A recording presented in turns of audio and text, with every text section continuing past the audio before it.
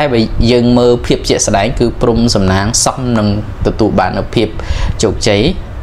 នៅក្នុងការប្រកួតរវាងទុនទុនមាននឹងព្រំសំណាងគាត់ថាគូនឹងអត់អាចធ្វើឲ្យដៃគូណាសន្លប់ពិតមែនប៉ុន្តែ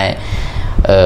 ព្រំសំណាងទទួលបាននូវភាពជោគជ័យហ្នឹងគឺវាស័កសមស័កសមយ៉ាងម៉េចដោយសារតែ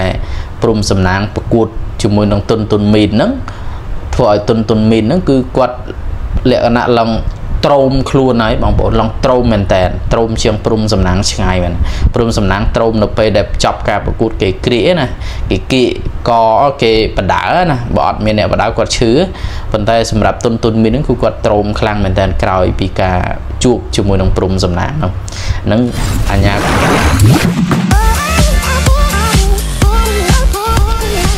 អូខេសូមគោរពជម្រាបសួរបងប្អូនអ្នកដែលនិយម គ្រប់គ្រងជាមួយនឹង channel របស់ខ្ញុំគឺ Pronin អឺក្នុងថ្ងៃនេះបងប្អូននឹងចូលរួមស្ដាប់ក្នុងការវិភាគរបស់ខ្ញុំជាមួយនឹងការបដាល់កីឡាករគុណខ្មែរជាមួយនឹងកីឡាករលិតវេនៅប្រទេសភូមាទុនទុនមីតណាបងប្អូនបាទបងប្អូនដឹងស្រាប់ហើយក្រោយអំពីការប្រកួតនេះ គឺឃើញថាព្រំសំណាងទទួលបាននៅភាពជោគជ័យទៅលើការប្រកួតរវាងអឺស្ដេចបដាល់ភូមាយើងនិយាយមកថាស្ដេចបដាល់ភូមាគឺទុនទុនមីននេះបងប្អូនដឹងហើយទុនទុនមីននេះគឺគាត់ប្រកួតមួយឆាកជីវិតរបស់គាត់គឺឈ្នះចាញ់តែ2ដងឯចាញ់ព្រំសំណាងការវគ្គស៊ីកេមមួយហើយនិងវគ្គផ្សេងមួយទៀតប៉ុន្តែអត់ដឹងថាចាញ់ជាមួយនឹងណាទេ ប៉ុន្តែអ្វីដែលគួរឲ្យកត់សម្គាល់នោះបងប្អូនដឹងស្រាប់ហើយថាទុនទុនមីននេះមកក្នុងគោលបំណងសងសឹកជាមួយនឹងព្រំសំណាងក្រោយពីរយៈពេលដែលខ្លួនទទួលបាននូវភាពបរាជ័យនៅក្នុងការប្រកួតនៅរដូវកាលស៊ីហ្គេមដែលខ្មែរយើងទៅជាម្ចាស់ផ្ទះបងប្អូនឃើញក្នុងคลิปវីដេអូនេះបងប្អូនដឹងស្រាប់ហើយថាព្រំសំណាងគាត់ប្រើប្រាស់ក្បាច់វាយគឺមាន គ្រប់បែបហើយជាពិសេសគឺអាវុធរបស់គាត់ចេញមួយមួយគឺធ្ងន់មែនតើអឺទុនទុនមីនក៏ជាជើងខ្លាំងមួយដែរបងប្អូនបាទទាត់ព្រំសំណាងព្រំសំណាងក្រោយពីការប្រកួត គឺគាត់ដើរធ្វើទៅមានអ្នកគ្រាអានោះវាបង្ហាញអំពីភាពខ្លាំងរបស់កីឡាករប្រទេសភូមាមួយដែរណាបងប្អូនបាទប៉ុន្តែអ្វីដែលបងប្អូនមួយចំនួនណាបងប្អូនមួយចំនួនដែលខ្ញុំឃើញ អ្នកខ្លះហ្នឹងទោះបីព្រំសំណាងទទួលបាននូវភាពជោគជ័យក៏ដោយក៏បងប្អូនមួយចំនួនដែលគាត់ហៅថាអកតេឬក៏គាត់មាននិន្នាការហៅថារិះគន់ដើម្បីជន់ពលិចទៅលើព្រំសំណាងហ្នឹងគឺគាត់ភាកច្រើនគាត់អត់ពេញចិត្តហើយខ្ញុំឃើញខមមិនបងប្អូនមួយចំនួនហ្នឹងគាត់អត់ពេញចិត្តថាអ្នកខ្លះថាវាយមិនកើតអីមិនកើត តែជាក់ស្ដែងបងប្អូនព្រំសំណាងមើលយុគមិញគឺការប្រកួតរបស់គាត់ហ្នឹងគឺគាត់ប្រើក្បាច់ល្អមែនតើបងប្អូនហើយរវាងព្រំសំណាងហើយនឹងទុនទុនមីនគឺគេឲ្យអញ្ញាហៅថាខូចឬក៏ចៅក្រមដែលកាត់ក្តីឲ្យព្រំសំណាងទទួលបានភាពជោគជ័យហ្នឹងគឺវាជារឿងត្រឹមត្រូវហើយពីព្រោះ យើងមើលឃើញជាក់ស្ដែងណារវាងទុនទុនមានហើយនិងព្រំសំណាងហ្នឹងគឺទុនទុនមានគឺត្រោមជាងត្រោមខ្លួនជាងព្រំសំណាងព្រំសំណាងគាត់វាយទុនទុនមានឡើងត្រោមមែនតែនបងប្អូនជុំមិញណាហើយលោដល់ជ្រុះថ្មិញអាប្រដាប់ការពារថ្មិញហ្នឹងបងប្អូនឃើញក្នុងការបដាយុបមិញហើយអញ្ចឹងឃើញថាព្រំសំណាងគាត់អាប់ដេតច្រើនបងប្អូនគាត់ថាអ្វីដែលគាត់អត់កែខ្ញុំសង្កេតឃើញគឺ អារបៀបឃុំបងប្អូនគាត់ឃុំគាត់វាយគាត់ដើរចូលហ្មងដើរចូលអឺដោយសារទុនទុនមីនហ្នឹងកដាប់ដៃរបស់គាត់ហ្នឹងវាយគាត់វាអត់លបើកបងប្អូនប៉ាំងអត់លបើកប៉ាំងអញ្ចឹងគាត់ដើរចូលវាអត់សូវឈឺតែគាត់រុកវិញណាឈឺចាំមកសរសើរព្រំសំណាងដែរបងប្អូនប្រាក់សរសើរថាអានឹងហៅថាកម្លាំងពីធម៌វិជាតិរបស់គាត់ណាភាពធន់ភាព អឺមមរបស់គាត់ហ្នឹងវាមានពីរកំណើតមកអញ្ចឹងអញ្ចឹងកីឡាករមុំមុំដែលមានគីឡូហៅថាអត់សូវមមដោយគាត់ហ្នឹងវាយគាត់ងាយស្រុតទេហើយមកឆាកជីវិតរបស់ព្រំសំណាងណាវាយកីឡាករដែលគេអាចផ្ដួលគាត់ផ្ដួលគាត់ឲ្យស្លាប់គឺមានតែ one viva បងប្អូន one viva ជាកីឡាករមួយដែលមាន កម្រិតមួយដាក់ព្រំសំណាងព្រំសំណាងស្លាប់បើក្រៅពីនឹងគ្មាននរណាវាយគាត់ស្លាប់សំបីតែដាវលីដូចណាវាយគាត់ដួលមែនតែគាត់នៅតែងើបបានហើយគាត់ហៅថាគាត់អឺទប់លំនឹងខ្លួនគាត់ទប់ខ្លួនឯងរហូតដល់ចប់ទឹកនឹងវាជារឿងអស្ចារ្យមែនតើបងប្អូនបាទហើយឥឡូវនេះគឺខាង ដាវលីដូចនឹងគេមានការលើកតម្កើងខ្លួនឯងជាស្ដេចបដាលមួយ ដែលអាចបដួលព្រំសំណាងបាន តែយើងឃើញជាក់ស្ដែងទៅគឺថាការដែលដាវលីដូចប្រកួតជាមួយនឹងព្រំសំណាងនោះគឺទទួលបាននៅលទ្ធផលស្មើគ្នាណាបងប្អូនរវាងព្រំសំណាងដាវដូចបានលទ្ធផលស្មើគ្នា គាត់ថាបើដោយសារយើងប្រើក្បាច់ម៉ាហ្វៃប៉ុន្តែបើសិនជា ក្នុងលក្ខខណ្ឌមួយបើសិនជាការប្រកួតហ្នឹងណាប្រើក្បាច់គុណខ្មែរពីពេលហ្នឹងណាព្រំសំណាងអាចចាញ់ប៉ុន្តែឥឡូវនេះបើសិនជាប្រកួតម្ដងទៀតណាបើមានការជួបព្រំសំណាងដើរដូចជួបព្រំសំណាងជាលើកទី2នេះគឺ អ្វីដែលខ្ញុំបារម្ភណាគាត់ថាព្រំសំណាងគាត់ធន់គាត់មមមិនងាយមានកីឡាករណាល្មមមុំផ្ដួលគាត់បានទេមិនងាយមានអាណាវាយឲ្យគាត់ឲ្យស្លាប់បានតែអ្វីដែលខ្ញុំបារម្ភគឺព្រំសំណាងហ្នឹងគឺគាត់វាយអត់សូវឃុំបងប្អូនបាទអត់សូវឃុំហើយអត់សូវឃុំហ្នឹងក្នុងប្រភេទកីឡាភាគច្រើនដែលជួបគាត់លើកលែងតែដៅលីដូចណា តែជួបគាត់ហ្នឹងគឺវាយគាត់ដូចអត់ឈឺហ្មងវាយគាត់ប៉ាំងគាត់ចេះដើរចូលប៉ាំងតែគាត់ញុកទៅវិញនៅទៅអាថ្មោលអាហ្នឹងអាហ្នឹងយើងឃើញលក្ខណៈសម្បត្តិរបស់ព្រំសំណាងណាបងប្អូនបាទប៉ុន្តែបើប៉ះដាវលីដូចហ្នឹងដាវលីដូចគេធ្ងន់ណាស់ដៃមួយដៃមួយដៃហ្នឹងបើព្រំសំណាងគាត់អត់ប្រកែទី1អត់ប្រកែកិច្ចទី2អត់ប្រកែឃុំអត់ប្រកែឃុំខ្លួនតែចូលដាវ ដែលដៃដាវលីដូចណាច្បាស់ជាព្រំសំណាងអាចទទួលបាននូវភាពបរាជ័យអាហ្នឹងបើសិនជាអាចជួបលើកទី2ណាបងប្អូននេះខ្ញុំគ្រាន់តែវិភាគនៅពេលបច្ចុប្បន្នដែលព្រំសំណាងគាត់អត់ទាន់អាប់ដេតរឿងឃុំខ្លួនបងប្អូនមើលជាក់ស្ដែងក្នុងវីដេអូហ្នឹងឃើញគាត់ដើរទម្លាក់ដៃអញ្ចឹងទម្លាក់ដៃពេលគេវាយចូលទៅគាត់ថាគាត់មមទៅវាយចូលគាត់អត់ស្រុតទេតែតែគាត់បុកវិញនៅអត់ស្រុតទេអូខេហើយ ចំពោះលទ្ធផលខ្ញុំបានលើកឡើងខាងដើមបន្តិចមកឲ្យថាចំពោះលទ្ធផលនៃការប្រកួតរវាងព្រំសំណាងហើយនឹងនឹងតុនតុនមីនសម្រាប់ខ្ញុំជាអ្នកគ្រប់ត្រមិនមានន័យថាអូខ្ញុំជាខ្មែរទៅអឺអកតិឲ្យអឺអ្នកហៅថាកាត់សេចក្តីណាចៅក្រមណាកាត់សេចក្តីនឹងឲ្យ មិនមែនមានន័យថាខ្ញុំខ្មែរឲ្យអ្នកកាត់សេចក្តីហ្នឹងកាត់ឲ្យខ្មែរឈ្នះទេប៉ុន្តែបើយើងមើលភាពជាក់ស្ដែងគឺព្រំសំណាងសមនឹងទទួលបាននូវភាពជោគជ័យនៅក្នុងការប្រកួតរវាង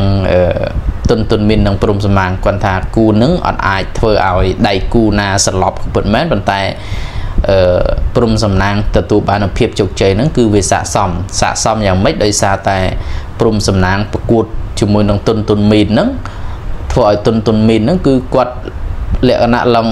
ត្រោមខ្លួនហើយបងប្អូនឡងត្រោមមែនតែនត្រោមជាងព្រំសំណាងឆ្ងាយមែនព្រំសំណាងត្រោមនៅពេលដែលចប់ការប្រកួតគេគ្រាណាគេគៀកគេបដើណាបើអត់មានអ្នកបដើគាត់ឈឺប៉ុន្តែសម្រាប់ទុនទុនមានហ្នឹងគឺគាត់ត្រោមខ្លាំងមែនតែនក្រោយពីការជួបជាមួយនឹងព្រំសំណាងហ្នឹងហ្នឹងអញ្ញាកដាដែលគេដាក់បន្ទុឲ្យ ចាច់ដែលគេដាក់ចៅក្រមនៃគេដាក់បន្ទុឲ្យនោះគឺសំគូហើយសំលមមដែលយើងអាចទទួលយកបានបងប្អូនបាទអឺសម្រាប់ខ្ញុំណាអឺចំពោះការប្រកួតនេះបើសិនជា5ទឹកល្អមែនតើបងប្អូន5ទឹកព្រំសំណាងអាចបែកកង់បងប្អូនព្រោះជើងគាត់ត្រូវធ្ងន់ដែរបងប្អូនបើប្រកួត5ទឹកឯងអាចបែកកង់ព្រោះព្រំសំណាងនៅពេលដែលទុនទុនមានគាត់អឺគាត់ធាក់ មួយជើងមកគាត់រៀងខ្ញូចរៀងភ្ញូចរៀងភ្ញូចជើងណាបងប្អូនប៉ុន្តែព្រំសំណាងប្រើក្បាច់ជង្គង់ហោះបុកមួយមួយធ្ងន់ណាស់បងប្អូនក្រៅពីទុនទុនមីតហ្នឹងប្រហែលជាស្លាប់ឈរបាត់ហើយបងប្អូនតែព្រំសំណាងដាក់ទុនទុនមីនទុនទុនមីតហ្នឹងគាត់រៀងហៅថាមមមួនដែរបងប្អូនរៀងតាន់ដែរដាក់ទៅគឺទុនទុនមីនគាត់អត់ អត់អីគាត់ទប់លំនឹងបានគាត់ថាគាត់ត្រោមបន្តិចបងប្អូនត្រោមអឺចំពោះវិស័យគុណខ្មែររបស់យើងដូចខ្ញុំតែងតែលើកឡើងជារឿយរឿយហើយថានៅពេលបច្ចុប្បន្នហ្នឹងគឺមានការរីកចម្រើនទៅមុខគួរឲ្យកត់សម្គាល់សម្រាប់បងប្អូនអ្នកដែលស្រឡាញ់វិស័យគុណខ្មែរយើងព្យាយាមលើកទឹកចិត្តហើយព្យាយាមលើកតម្កើងហើយបើសិនជាមានឱកាសដែលព្រំសំណាងអាចប្រកួ តជាមួយនឹងដាវលីដូចបានទៀតហើយវគ្គហ្នឹងគឺជាវគ្គរបៀបក្នុងការវាយហៅថាក្បាច់គុណខ្មែរមកមកមកទឹក3នាទីកុំវាយក្បាច់ម៉ាហ្វៃខ្ញុំជឿថាអាចស្វែងរកអ្នកខ្លាំងពិតប្រាកដរវាងព្រំសំណាងដាលីដូចពួកគាត់ទាំងពីរនេះគឺមានតែគីឡូគាត់ទេដែលស័កសមវាយជាមួយគ្នាតែម្ដងប៉ុន្តែបើកម្ពស់វិញព្រំសំណាងខ្ពស់ណា1ម៉ែត្រ8ជាង តែដាវលីដូចហ្នឹងខ្ពស់ជាងព្រំសំណាងទៀតបាទបើយើងគិតទៅលើមៀតអានឹងកម្ពស់ហ្នឹងដាវលីដូចហ្នឹងមានហៅថាមានភាគរយខ្ពស់ជាងបាត់ហើយមានកម្ពស់គាត់ថារបៀបវាយរបៀបអីហ្នឹងគឺដាវដូចដូចសារគាត់លះទីមួយគាត់មានក៏ខ្ពស់ហើយធំក៏ធំធ្ងន់ក៏ធ្ងន់ហើយគាត់លវិសទៀតតែព្រំសំណាងនេះគាត់ អ្វីត្បិតតែគាត់មមគាត់មែនប៉ុន្តែគាត់អត់សូវលវិសដូចដាវដូចទេអាហ្នឹងវាជាសារជាតិពីកំណើតធម្មជាតិបង្កើតមកវាពិបាកកែត្រង់ចំណុចហ្នឹងតែបើធឿនធារាអីហ្នឹងគឺគាត់ដល់ទាំងព្រមតែម្ដងបងប្អូនដល់ទាំងព្រមគាត់អាចប្រកួតគ្រប់ក្បាច់គ្រប់ទម្រង់គឺថាអែមតែម្ដងហើយនៅថ្ងៃទី14នេះព្រំអឺ ធឿនតារាណាបងប្អូនធឿនតារានឹងជួបជាមួយនឹងរាជសីទាំង5គឺរាជសីហ្នឹងគឺគាត់សិតតែជាអ្នកដែលមកពីលំដាប់ប្រទេសបងប្អូនបាទមកពីលំដាប់ប្រទេសអញ្ចឹងជួបជាមួយនឹងព្រំសំណាងគឺជួបជាមួយនឹងធឿនតារានឹងធឿនតារាចាំមើលគាត់អាចទទួលបានភាពជោគជ័យឬក៏អត់ខ្ញុំឃើញកីឡាបដាល់សុកខ្មែរមានមួយមានតែធឿនតារាទេ ព្រំសំណាងអ្វីត្បិតតែគាត់ខ្លាំងមែនប៉ុន្តែគាត់អត់ទាន់ជួបលក្ខណៈថាវាយម្ដង1ទល់4 1ទល់3ឬក៏វាយលំដាប់អឺម៉ារ៉ាតុងដូចដូចធឿនតារាហ្នឹងគឺអត់តាន់ទេពោះអឺគាត់ទី1ព្រំសំណាងគាត់ល្បីនៅពេលគាត់ចាស់ហើយបងប្អូនល្បីក្នុងរយៈពេល2 3ឆ្នាំហ្នឹងទេព្រំសំណាងហ្នឹងបើធឿនតារាគាត់នៅវ័យមួយវ័យក្មេងនៅឡើយទេអាយុ 24 25គាត់នៅក្មេងនៅឡើយបាទធឿនធារាហ្នឹងគាត់នៅក្មេងវ័យនៅក្មេងនៅឡើយបងប្អូនអឺអញ្ចឹងគាត់មានឱកាសអាប់ដេតទៅមុខច្រើនទៅទៀតឥឡូវគាត់ខ្លាំងស្រាប់ហើយបងប្អូនបាទគាត់មានកម្រិតមួយហៅថាកម្រិតលក្ខណៈអឺអឺស្ដាច់បដាល់ហើយបងប្អូនបាទតែនៅរយៈពេល3 4ឆ្នាំទៀតគាត់នឹងមានហៅថាកម្រិតនៃ កម្លាំងហ្នឹងកាន់តែមមកាន់តែខ្លាំងកាន់តែអស្ចារ្យហើយមួយទៀតបងប្អូនបាទថ្មីថ្មីនេះព្រំសំណាងក្រោយពីការប្រកួតទទួលបានភាពជោគជ័យជាមួយនឹងទុនទុនមាន គឺគាត់បានចុះកងត្រាទៅប្រកួត នៅប្រទេសបារាំងបងប្អូនបាទហើយប្រទេសបារាំងគេផ្ដល់នៅតម្រុយមួយគេថាបើគុណខ្មែរពិតជាខ្លាំងមែន គេអញ្ជើញគុណខ្មែរទៅវាយលើសៃរៀនសៃវៀននៅប្រទេសបារាំងហើយបើសិនជាគុណខ្មែរអាចទទួលបាននូវភាពជោគជ័យនៅលើសៃវៀនប្រទេសបារាំងទៀតគឺខ្មែរយើងចំណេញច្រើនមែនតើចំណេញអឺចំពោះការដែលប្រកួតជាមួយនឹងប្រទេសថៃនឹងច្រើនជាងប្រកួតនៅថៃរាប់សិបដងហ្នឹង ជា promoter របស់បារាំងគេបានណែនាំមកអញ្ចឹងណាបងប្អូនអាហ្នឹងខ្ញុំទទួលបានព័ត៌មានស្ដាប់ព័ត៌មានពី admin កំសុងដែរទេបាទអញ្ចឹងខ្មែរយើងកាន់តែល្បីចូលដល់កម្រិតមួយទៀតហើយដែលពួកបរទេសគេចាប់អារម្មណ៍ហើយគេអញ្ជើញគុណខ្មែររបស់យើងហ្នឹងទៅប្រកួតនៅបរទេសយើងដឹងហើយថានៅប្រទេសបារាំងជាប្រទេសមួយដែល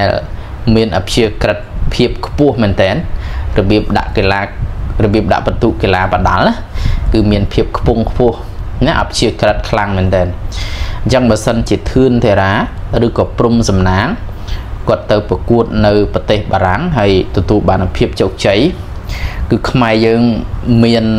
មុខមាត់កិត្តិយសគេឈ្មោះលើឆាកអន្តរជាតិខ្លាំងមែនតើយើងជាកូនខ្មែរ